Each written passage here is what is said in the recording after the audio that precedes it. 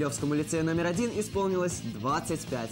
Лицей глазами его выпускницы встреча спустя 6 лет. Далее в Альма-Матер. Они создают вулканы, растят черепаху, колдуют волшебной палочкой и знают о химических свойствах любви. Студенты факультета естествознания через несколько минут. Умный свет. Разработка студента БРУ пригодилась в Ледовом дворце. Об этом не только в сегодняшнем нашем выпуске. Тем временем Альма-Матер провела новый эксперимент. Сразу несколько. И на этот раз мы доверили поэкспериментировать с будущим химиком. Что из этого получилось, узнаем прямо сейчас. В эти минуты наш корреспондент Надежда Мишкевич находится на факультете естествознания. Всем привет! Сегодня мы в гостях у тех, кто с интересом разглядывает в микроскоп инфузорию туфельку, кто легко отличает алмаз от топаза, кто ловит бабочек и собирает гербарий, и кто безошибочно находит на карте мира Гваделупу. Как вы уже догадались, сегодня мы в гостях у студента факультета естествознания МГУ имени Кулешова. Факультет естествознания создан 25 лет назад. Сейчас здесь учатся более 400 человек. В учебном корпусе номер 3 в самом центре города есть три кафедры – биологии, химии, географии и охраны природы. Здесь же свои библиотека, читальные и актовые залы. У нас прекрасная лабораторная база, у нас прекрасная аудитория. У нас имеется э, агробиостанция «Любовь», где летом проходят все практики. Э, далее, это у нас прекрасный э, профессорско-преподавательский коллектив. У нас более 50% э, лиц преподавателей со степенями и званиями. Это первокурсники, изучают морфологию растений. Завкафедрой биологии Дина Киселева говорит, на первом курсе студенты на каждой паре делают маленькое открытие.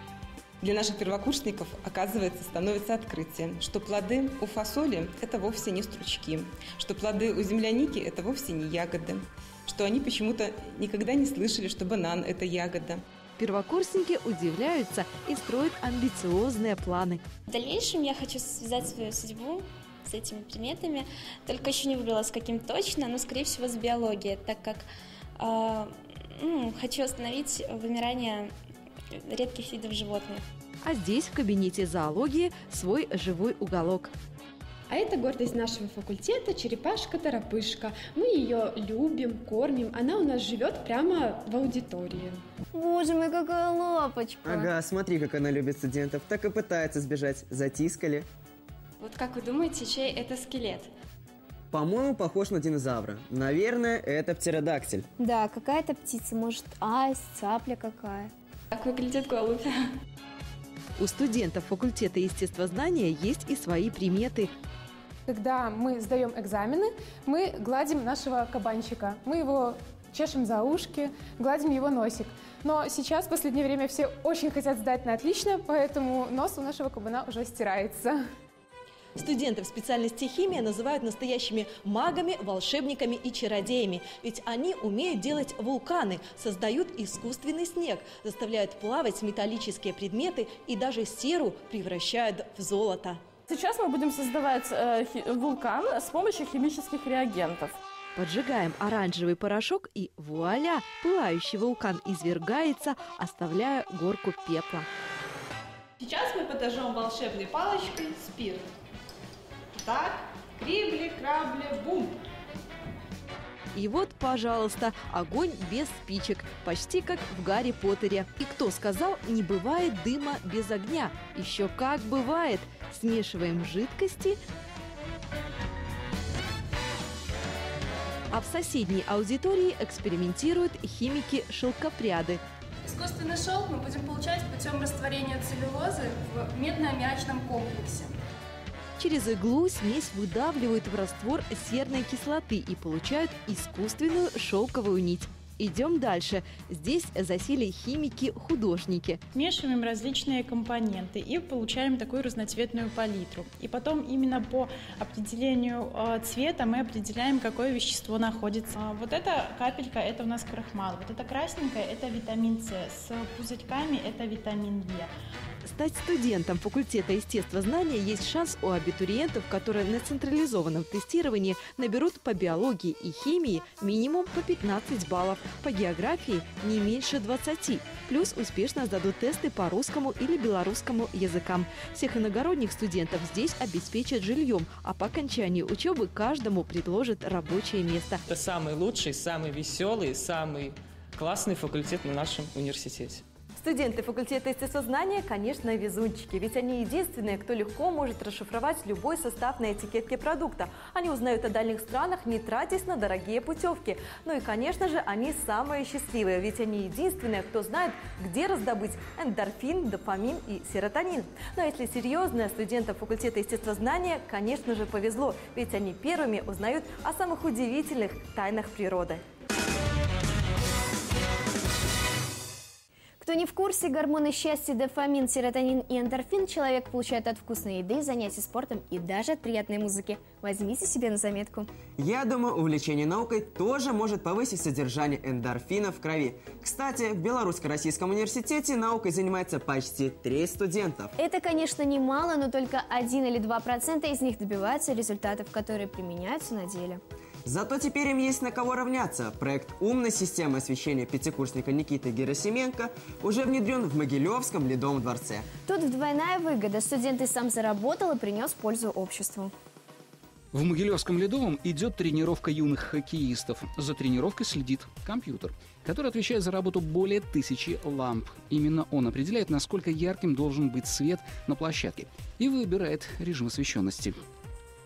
Все четыре режима отличаются количеством включенных светильников. Вот сегодня на данный момент сейчас проходит тренировка детей. Им включается один. Когда проходит матч хоккейный, это экстралига, там уже другое количество света. Когда происходит съемка телевидения, тут включается вообще свет максимально, чтобы вам было удобнее снимать. Умные режимы позволяют Ледовому дворцу экономить около 16 тысяч киловатт в месяц. Включаем простую арифметику и получаем 40 миллионов белорусских рублей. И все благодаря этой компьютерной программе.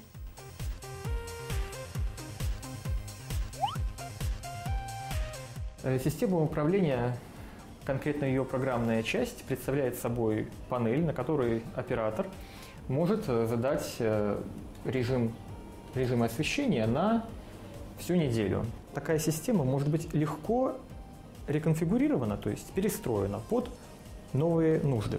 Соответственно, например, вот меняется тип светильников. Мы можем с легкостью адаптировать программу под новый тип светильников.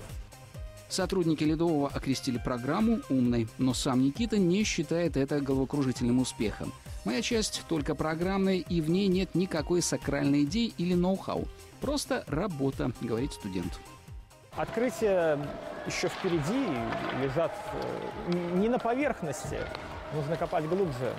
А это, скажем так, один маленький шаг.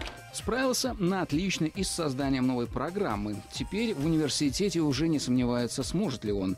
Ведь свою работоспособность и сам Никита, и его проекты доказывают не на словах, а на практике. Могилевского государственного лицея номер один юбилей учебному заведению исполнилось 25 лет. Возраст студента-выпускника. Вот как раз выпускница этого лицея наш корреспондент Катя Балукова давеча заглянула в родной альма-матер поностальгировать и поздравить лицей с юбилеем.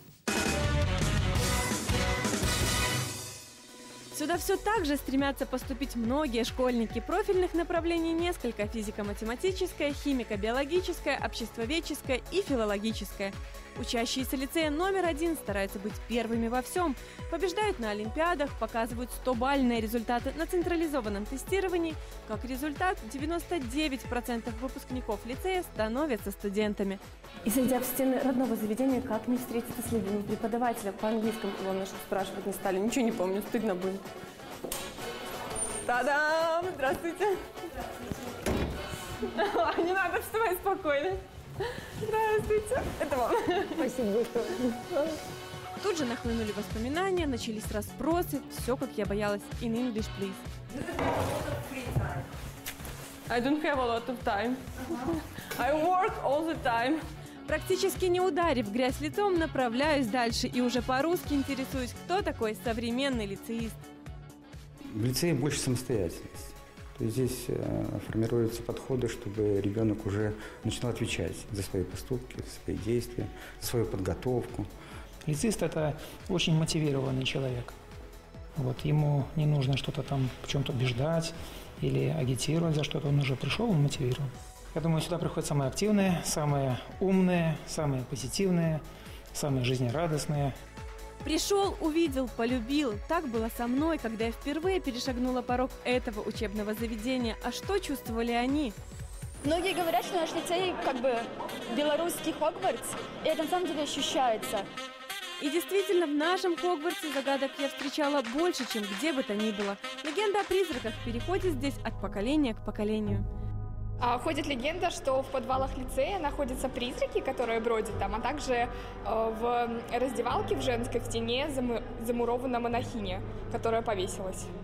Правда, призраков в подвале я никогда не встречала, но оттуда действительно уже много-много лет доносятся голоса.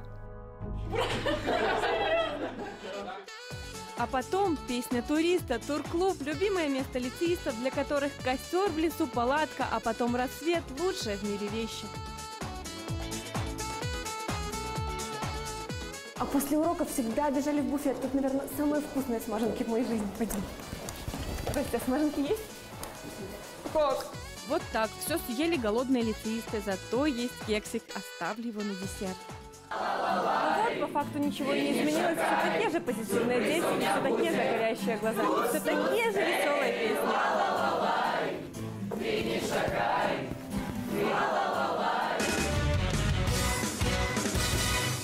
Время задавать контрольный вопрос от Альма Матер. Посмотрим, сумеет ли ответить на него вот так сходу случайные прохожие. Телезрители, вы тоже можете проверить свою эрудицию.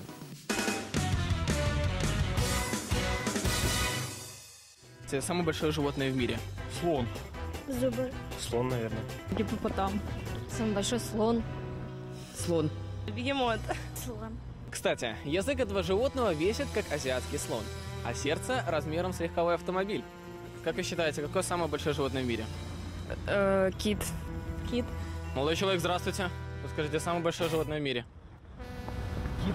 Ну, конечно же, самое большое животное в мире – это синий кит. И нет, это не рыба, как многие пытались мне возразить. Это млекопитающее. Его вес достигает более 200 тонн, и в длину он более 33 метров. В общем, как-то так. Учите биологию. А в следующий раз Альма-Матер подготовит для вас новый каверзный вопрос. И надеюсь, вы не упадете в грязь лицом. На этом у нас все. С вами была самая студенческая программа «Альма Матер». Встречаемся каждые две недели в среду на Беларусь 2. Пока-пока!